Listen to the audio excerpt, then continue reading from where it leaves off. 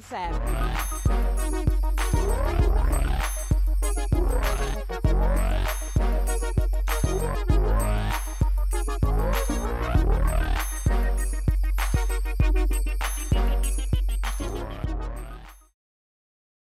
Hi, I'm Tony Williams, and this is Brooklyn Savvy. We're going to be talking about volunteerism today with the Chief Service Officer, Diahann Billings Burford.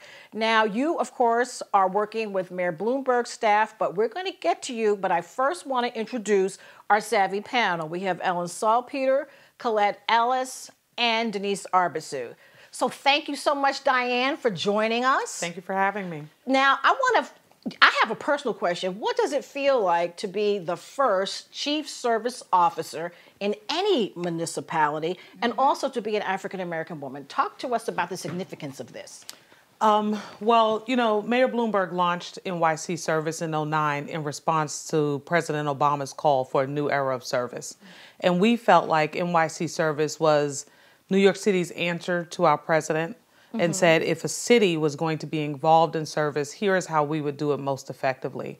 So I think stepping into this role was it was a lot. Mm-hmm. It was a challenge sure. because there was this pressure to get it right. Um, but about three months in, I said to the mayor, it's only nice to say I'm the nation's first chief service officer for so long. Right now, I'm the only. Um, oh, and so, okay, okay, right. And so, um, at six months in, to his credit and to the credit of many of the people at City Hall, we um, we went to Rockefeller Foundation, and the Rockefeller Foundation founded, uh, funded rather, the first, the next ten chief service officers across the city, and we had more than 50 cities apply. They all had wonderful applications. They were so good that Bloomberg Philanthropies then matched Rockefeller Philanthropies. Wow, yeah, oh my word. Yeah. Yes. And so we had another 10. And so now we actually are up to more than 30 chief service officers Excellent. across the city and more than 100 cities that have signed on um, and most of them are actually funded now by their city or by their municipality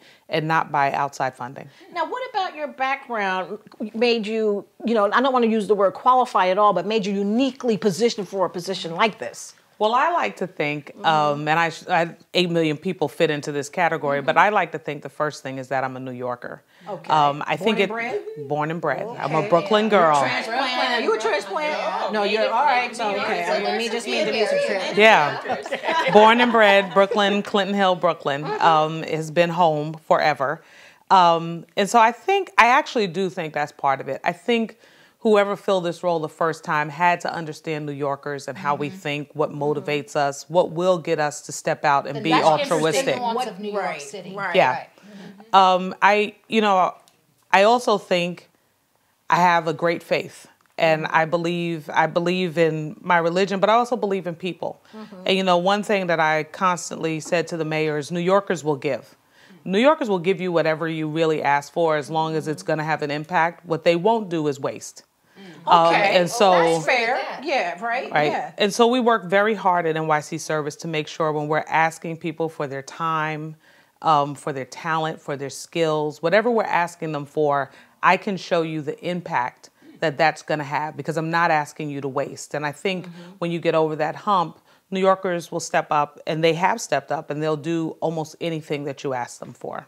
Hmm. I also think it's really great that you know the mayor and his administration have had such an uh, important role in using technology right. to get the word out and to actually organize things from 311 to everything else. Yeah. And so I think your timing was really good too, kind of saying like we can use the social networks Absolutely. to actually right. get to get people to volunteer across age and time and, and class, which was really important. And also to track the results, right? Isn't that yeah. important? Sure. That you need to show that you have the benchmarks in place, you have the, you know the whole Absolutely. Process.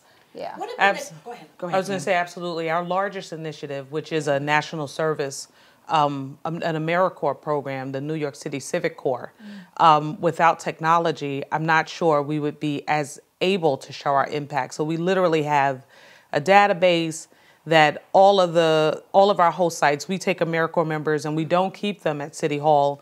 We put them into not-for-profit and city agencies to build volunteerism across our city.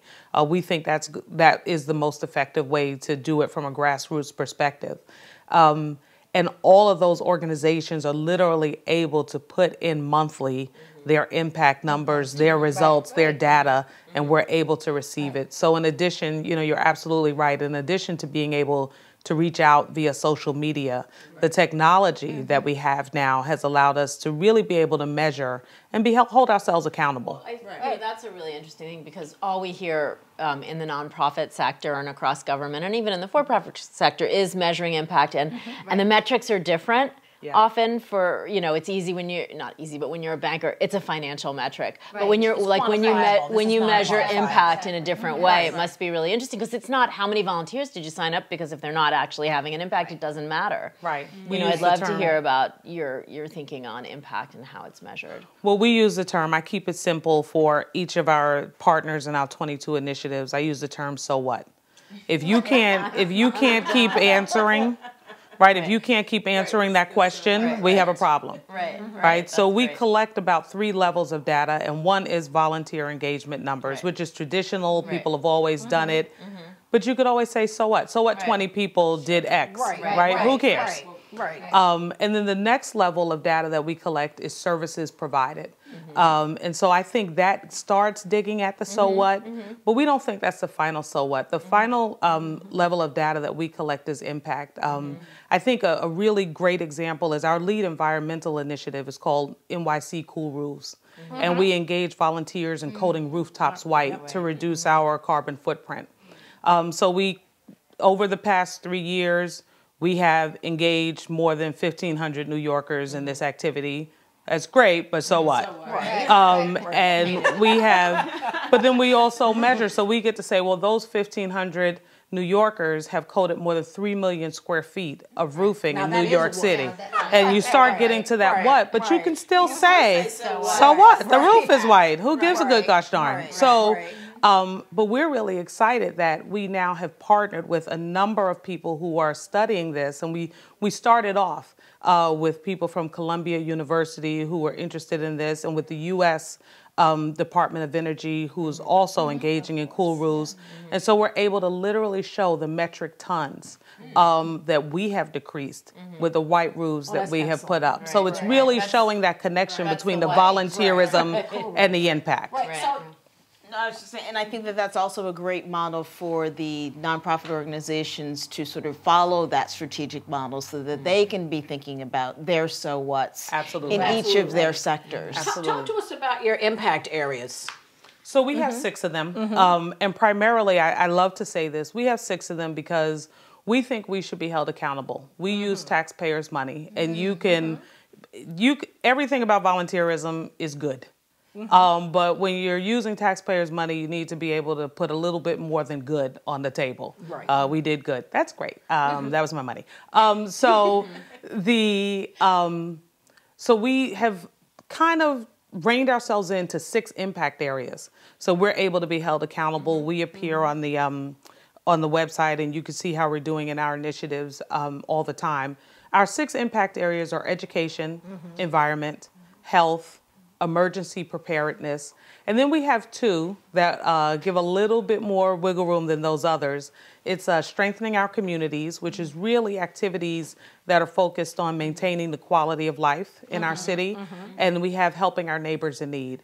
And that is really about so providing social services. Um, keep in mind that NYC Service was launched around about the time, about a year after Wall Street collapsed, right. and so right. we recession. knew so you deep recession. When we knew were really hurt. Yes, in terms right. of like needing additional food, they had no no housing. Mm-hmm. Exactly, whatever impacted them. Exactly. So mm-hmm. we knew we were going to see this increase in social services, and because of the way the city budget works, we knew we were going to see our tax revenues and our tax base be impacted mm-hmm. that Decreasing fiscal negatively. year. Right. And so we knew we'd have lower yeah. traditional resources and an increased reliance. I'd like to talk about you know two areas: one, education, but before that, emergency preparedness. Mm-hmm. Now, who would have thought that you you know were you ready?